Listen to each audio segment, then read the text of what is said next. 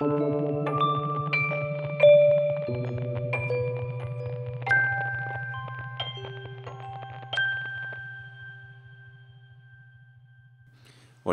en este vídeo vamos a aprender a dibujar el triángulo rectángulo dada la medida de su hipotenusa, el segmento A que veis en pantalla, y dada la medida de su altura respecto a dicha hipotenusa, que es el segmento HA.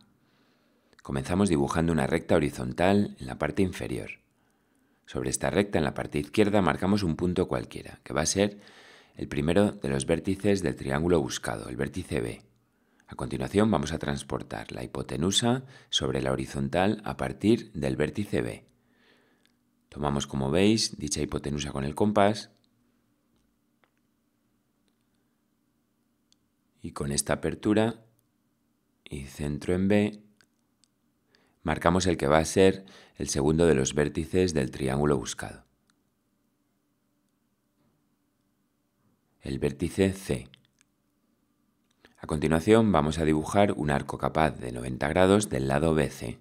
Para ello comenzamos con la mediatriz.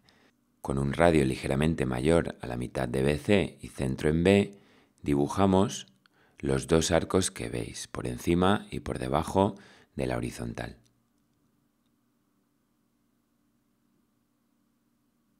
Con este mismo radio y centro, en este caso en C, vamos a dibujar otros dos arcos que cortan a los anteriores en dos puntos que van a pertenecer a la mediatriz buscada.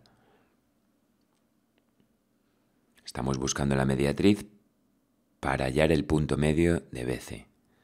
Así que no la necesitamos dibujar completa, únicamente esos tres tramos que veis. Ese punto medio lo llamamos con la letra M. Pues bien, M va a ser el centro de ese arco capaz centro en M, ajustamos el compás hasta que pase por B y dibujamos la semicircunferencia desde B a C. Tal y como veis en la pantalla, en algún punto de esa semicircunferencia va a estar el tercer vértice, el vértice del ángulo recto. Gracias al arco capaz logramos ese ángulo recto. A continuación, en un punto cualquiera, X, que marcamos, como veis, a la derecha de C, por ese punto cualquiera de la recta horizontal, vamos a dibujar una perpendicular, tal y como veis. Marcamos la perpendicularidad.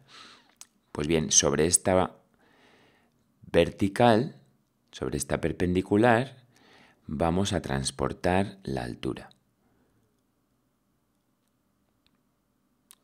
Como es la altura de la hipotenusa, la medimos sobre una perpendicular a la hipotenusa. Como veis la transportamos hallando un punto que llamamos con la letra Y.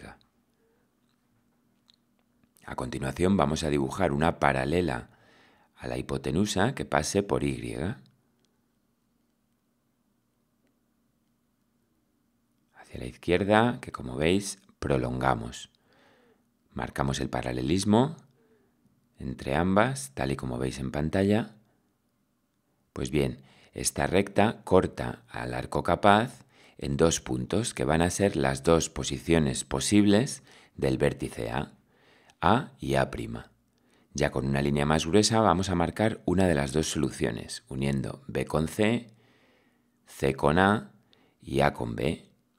Habría dos soluciones en este ejercicio. Marcamos una, como veis, con una línea gruesa y marcamos la otra con una línea más fina, uniendo B con A' y A' con C.